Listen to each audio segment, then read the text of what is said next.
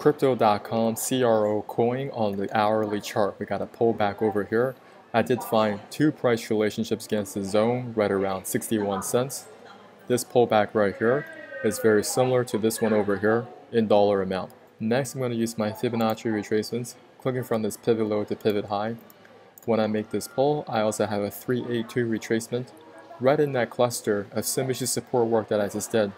Now we are bounced off in this area, and right now this is only trading around 65 cents, so what you can do here, not financial advice, pick up some CRO at this level, but whatever you do, you gotta set your stop below this pivot low.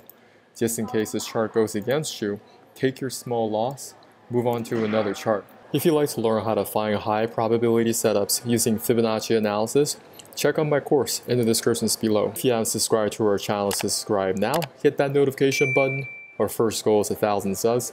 We go over cryptocurrencies as well as US equities. Love to hear from you in the comments area.